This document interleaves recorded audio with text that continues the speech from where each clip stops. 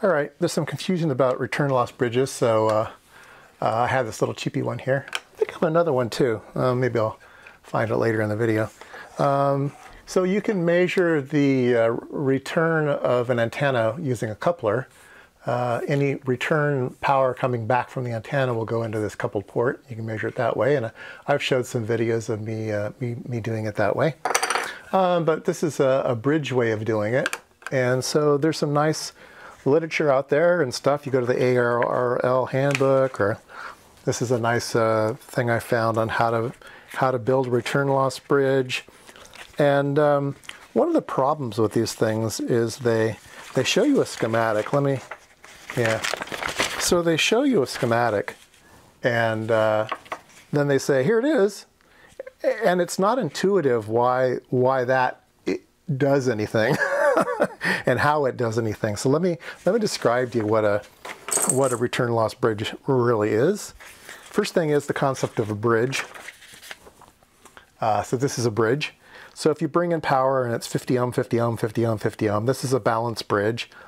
And uh, if you had three resistors of known value and the, this one you weren't quite sure if it was 50 or not, the bridge would either be balanced or not, and a lot of times you measure the voltage or current across the center of the bridge, okay? So that, that's, that's a bridge circuit, right? And um, if you build uh, something like this, then uh, you have a bridge that's open, and if you connect an antenna, it looks like a 50 ohm load to ground. So the, the, the part of the bridge here is replaced on the outside. So, so that only shows part of the bridge, but actually the, the fourth resistor is over here. So, so, so as we go on, remember that, that the fourth resistor doesn't have to be here. It can be someplace else. Okay. So uh, the next thing is, uh, let's see, what's a good, what's a good picture to show next? This one. Okay, so what if we built a bridge like this? We have 50 ohms and then we have this funny little transformer here. Bring it in here, bring it in here, it's same number of wines, so everything is balanced. This side is balanced, that side is balanced. Uh, there's really nothing going on. Uh, anything happens inside the transformer is happening equally. That's just a balanced thing, okay?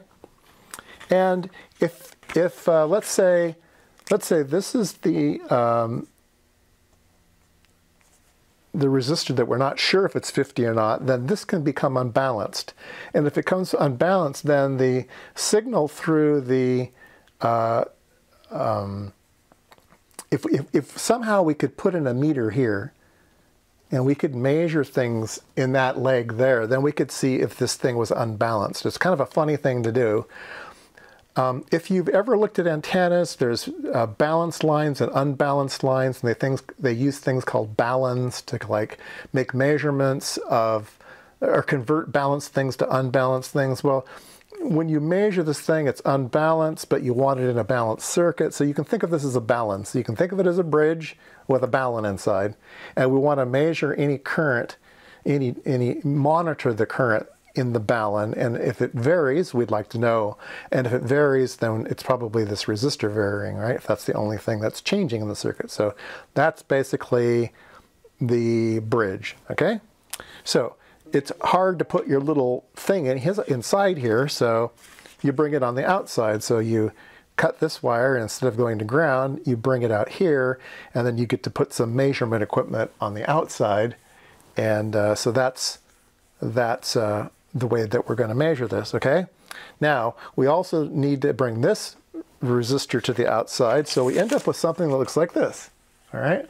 So we have uh, three quarters of the of the uh, the the, uh, the bridge here, and then we have this little balun in here, and we bring those two things out. So we label this one in, and we label this one out, and then we label this one test or something, right?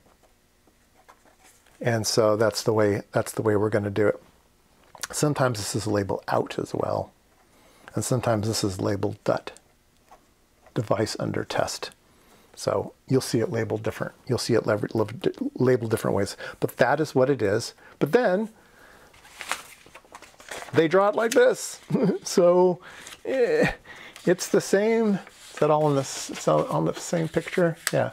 It's the same thing, right? Here's the two resistors, here's the third resistor, here's the little thing, and then here's the... So they draw it like this, and that's very, very confusing if you hadn't seen all those other drawings. So anyway, that's what, that's what a return loss balance does. And it's going to have a place that you can monitor the bridge, and if the bridge varies, you can see the variation. And the bridge will vary when it becomes unbalanced. So so uh, whether it goes high and um, greater than 50 ohms or less than 50 ohms, you'll, you'll see that effect here on, on the port, okay? So this particular one is a real cheap Chinese one. So it has an input port. I don't think it was even labeled. I think I had to figure that out. It has an input port. So you put your RF generator into the in. Oh, another thing is don't hook this up to your radio. They, they're very low uh, power levels only, you know, milliwatt range. So you bring your generator into the in, um, and you connect the other side to a spectrum analyzer or something onto the out, if you're sweeping. And then uh, the device under test will be over here. Okay, so your antenna will go here on the DUT. So the other resistor here, the one that balances against the, the uh, uh, antenna, on this one is actually a little 50 ohm load that they screwed into the end. I don't know why, but you could unscrew this and put a 75 ohm there and yeah, you could do other things with this thing. Um, but this one has an external 50 ohms and these are really cheap on eBay. So let's, uh, let's uh, give them a try. Okay, so the first measurement we're gonna make is with a uh, coupler. We're going to bring the RF generator into the out. We're going to put the antenna on the in, and we're going to hook up the uh, spectrum analyzer to the coupled port, right? And then this is the picture that we get.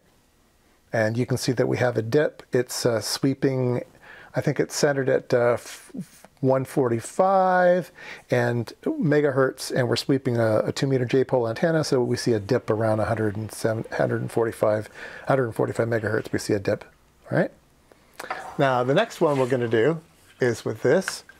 We're going to hook up the RF generator to the in, we're going to hook up the antenna to the out, and we're going to hook up the spectrum analyzer to the DUT, and we're going to sweep that, and same setup, and we see we get a dip at 145 megahertz.